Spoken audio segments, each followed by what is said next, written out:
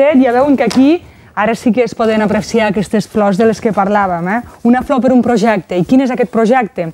Ens acompanya el José Antonio Carceller, Car Carceller sí? Uh, és el cap de servei de radioteràpia de l'Hospital Arnau de Vilanova. Bona tarda i benvingut. Tarda. Ens acompanya la Mercè Pocino, afectada, tractada de radioteràpia, i també podríem dir actriu, eh? I, i veuran per què, veuran per què, després ho desvetllarem.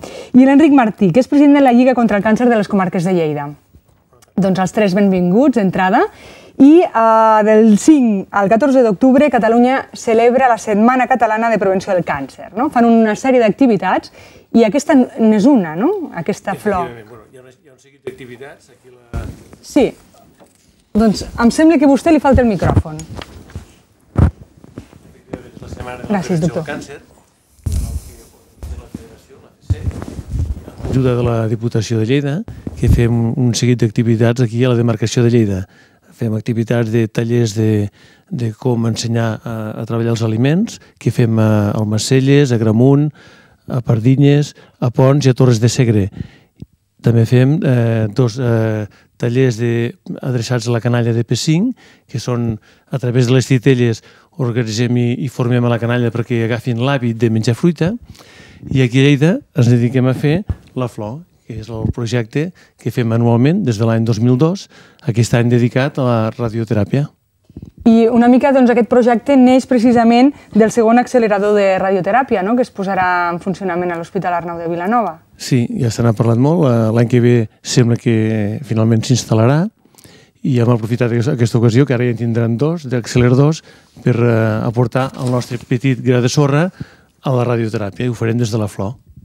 Doctor, aquest accelerador suposa doncs, un, un gran avenç no, també per la tecnologia que se suma a l'Hospital Arnau de Vilanova. Vostè que porta 30 anys treballant amb malalts de, de càncer i que estem especialment contents que ens acompanyi el programa perquè no només hi treballa a nivell mèdic, sinó que, pel que m'han dit, a nivell humà doncs, és una persona doncs, que sap eh, transmetre molt no? a les persones amb les que tracta. No? Per tant, doncs, eh, la, la qüestió és aquesta. No? En tot aquest temps, en 30 anys que porta pràcticament a l'Hospital Arnau de Vilanova, com, com ha vist evolucionar els tractaments? La nostra especialitat, el nostre servei, eh, és bàsicament tecnològic. Per tant, del que teníem fa 30 anys, no tenim absolutament res. Eh, qüestions tan tecnològiques i, com tots sabem, la tecnologia avança molt, molt ràpidament. Llavors, Eh, tenim un accelerador, fa 20 anys que tenim el nou servei, estem a punt de tractar 10.000 malalts, estem a punt d'arribar al malalt 10.000, i eh, això el que ens genera és la facilitat perquè els malalts no s'hagin de desplaçar a uns altres centres. Llavors, el nou accelerador comportarà tota la nova tecnologia que hi ha avui, quasi tota la nova tecnologia, perquè com que això va tan ràpid, doncs eh, ja hi han coses noves, però que les anirem incorporant. No volia dir que eh, amb la situació econòmica que tenim, eh, hi ha hagut un, un gran esforç per part de, de la conselleria per poder continuar amb aquest, amb aquest accelerador. Eh, crec que han sigut eh, sensibles a la necessitat que hi ha d'aquesta màquina. Però sempre mm, hi han qüestions que no s'acaben de perfilar i amb això la Lliga ens ajuda, en aquest cas, d'una manera molt important, perquè ens facilitarà uns estris, eh, en aquest cas software, eh, per, per poder fer millor la nostra feina. La nostra feina, eh, bàsicament, es concentra en tractar eh, de la millor manera la zona tumoral, protegint els òrgans que hi ha al voltant i evitant efectes secundaris. Per això és per lo que ha millorat la tecnologia i per això és que el software és imprescindible i la Lliga, en aquest cas, la flor, ens ajudarà molt. Dues coses o tres. És, és trist no, que l'economia pugui eh, suposar doncs, un fre pels tractaments no, de persones doncs, malaltes de càncer. Aquesta d'entrada. La segona seria doncs, eh, el, el tema de, de, de la tecnologia, no? Que, que no només suposa doncs, un avenç, sinó que eh, és molt important que el malalt no s'hagi de desplaçar, perquè els desplaçaments és una cosa que afecta molt psicològicament als malalts, no? que s'hagin de desplaçar tantes vegades, que hagin de sortir de casa tantes vegades i en moltes ocasions a, a ciutats doncs, desplaçar-se molts quilòmetres. No? Per tant, doncs, això és un tema important. Jo suposo doncs, que la Mercè, doncs, que, que ho coneix de prop, no? Uh, ens podria parlar d'aquest tema, no?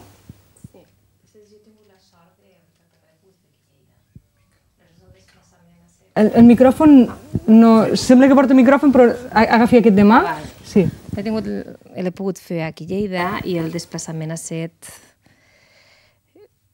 no ha estat un impediment. El que passa que sí que a la sala d'espera trobes molta gent que han tingut que venir, coneixes, clar, moltíssima gent allí esperant, i, i, i es, es fa costa amunt el venir cada, cada dia durant el tractament, els dies que et toquen. Concretament vas fer tractament amb radioteràpia? Amb radioteràpia. Amb radioteràpia, amb radioteràpia, sí. Perquè ara ja ens deia el doctor no, que aquestes, uh, aquestes noves tecnologies clar, cada vegada són més precises, segurament, no? perquè com que es tracta d'incidir sobre el tumor i no tocar doncs, altres òrgans, com ell ens explicava, no? doncs, com més evolucionada és la maquinària, millor, no? Totalment. Eh, heu dit una cosa que és molt certa, que és que hi ha una gran dificultat per traslladar-se, però a més hem de tenir en compte que són malalts febles, eh? són persones malaltes que normalment surten d'una intervenció i que per tant estan en un estat precari. El poder fer el tractament aquí a Lleida és una cosa, vaja, jo crec que fonamental.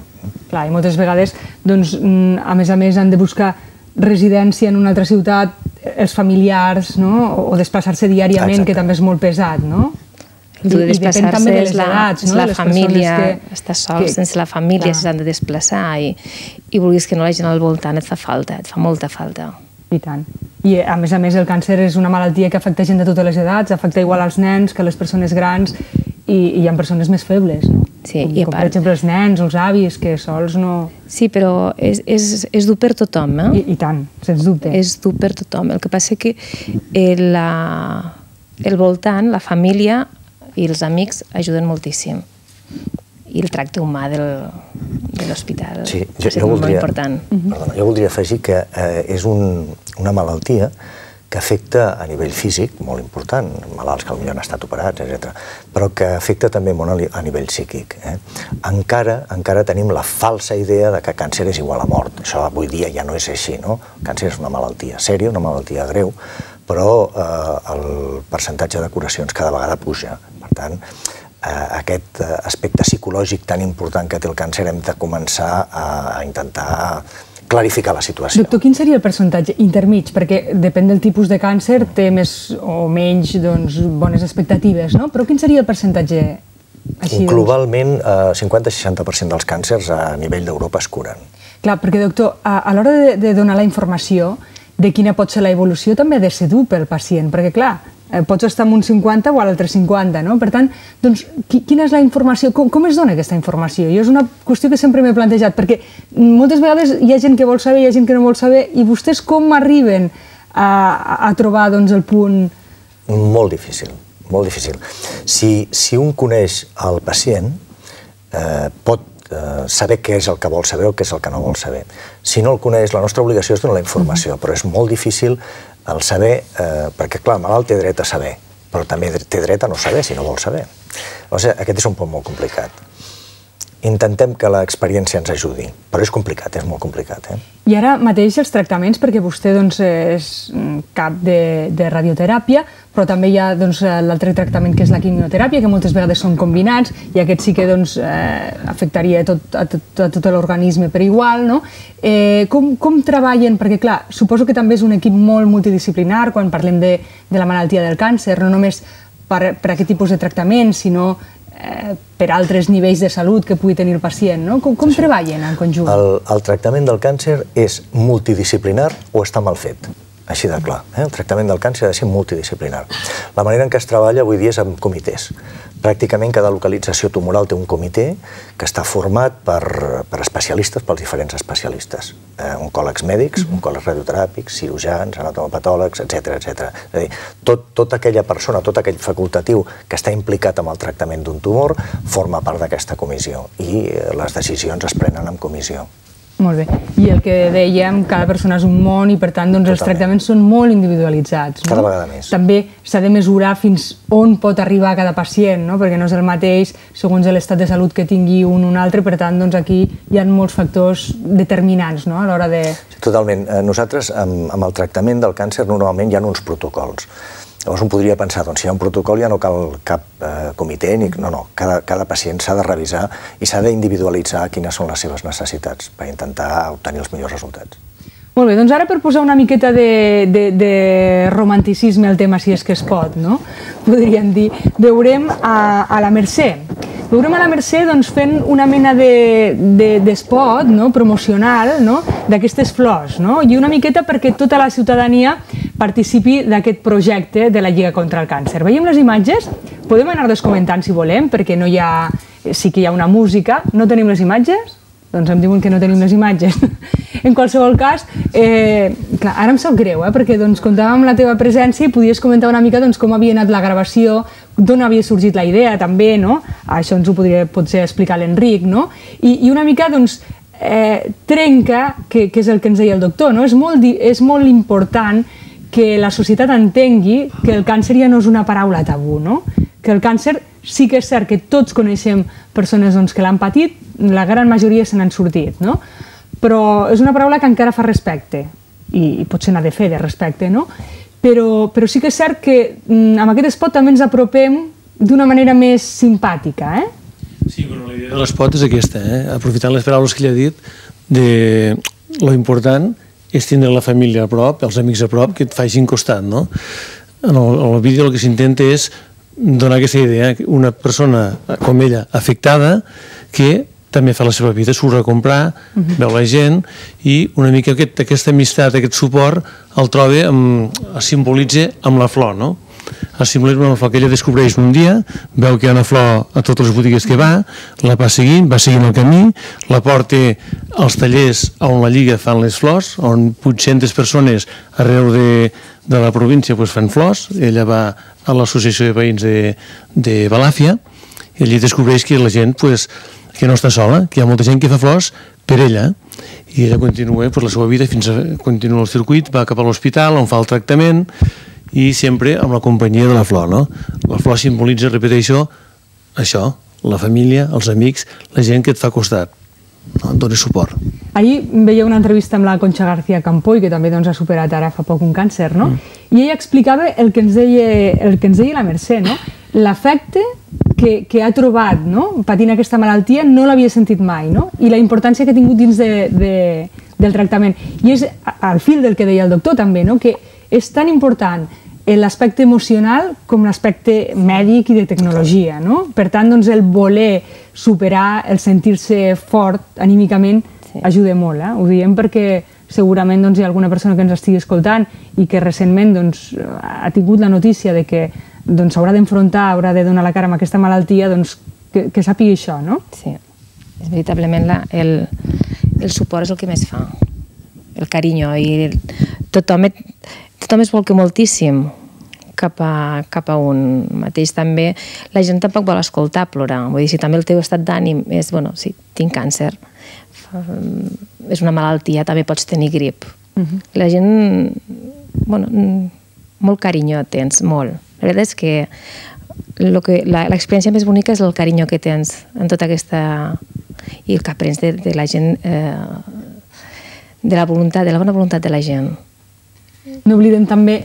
Vol dir, afegir alguna no. cosa? Sí, volia dir, veure, abans comentaves de que a vegades els moments difícils de, pel que passa l'economia, no? la crisi, que fa que això pues, pugui restringir els recursos sanitaris, no? Però hi ha també una altra part, no? El fet de que amb la flor, el que s'intenta... A veure, nosaltres no sortim a vendre flor. El que intentem és donar l'oportunitat a la gent a que pugui participar d'un projecte comú. Aquest any el dediquem a la radioteràpia. Comprant una flor, tu pots participar d'aquest projecte. Mm, no tot ho ha de comprar l'Estat.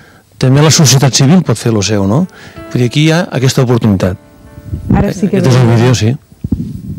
No, és, és important això que diu també perquè moltes iniciatives i moltes associacions que són importantíssimes surten de la societat civil i donen molt suport als malalts i per tant doncs, eh, s'arriba on potser l'administració no arriba, no?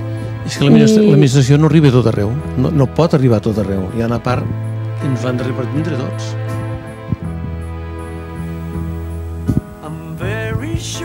Va ser molt difícil fer d'actriu? No, el director va ser molt bo. Sí? Sí. El director... I, i com t'hi veus aquí? Agafa el micròfon. Clar, ara fa ja molt temps que no em vaig posar el mocador perquè jo el portava. I... I clar, vist així, dius, et quedes una mica dient, ostres, he estat malalta. El que passa que també quan me posava el mocador... Mires molt, molt amb Bec amb una perspectiva de passat total, eh? Sí, és La passat. distància és important, no? Oblidar-ho ja, d'alguna Sí, manera. és una cosa, vull dir que un- quan se va acabar el tractament, per mi es va oblidar es va, es va oblidar el portar el mocador, moltes coses. I, eh, i molta gent es pensava, deia, ai, estaves molt guapa amb el mocador, no sabien que, que no tenia cabell, em deia que estava molt guapa amb el mocador perquè es pensava que ho portava així, no era per... I a Hi ha vegades... gent que el porta i... Sí, eh? però que no és solament per malaltia o perquè... I és algo...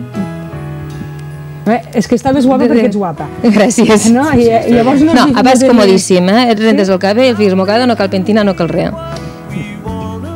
Molt bé. Eh, doctor, eh, sí que hem parlat de que és molt important l'efecte, però és molt important també, lògicament, els tractaments. Com han evolucionat? Perquè estem parlant que estem en un moment també doncs, que eh, doncs, eh, l'expectativa és molt bona, el percentatge de curació també és molt, molt elevat i, per tant, doncs, això vol dir que s'ha evolucionat molt. En quin punt podríem dir que estem doncs, a, a nivell global a Catalunya i també a l'Hospital Arnau de Vilanova? Ja per, una mica per concloure.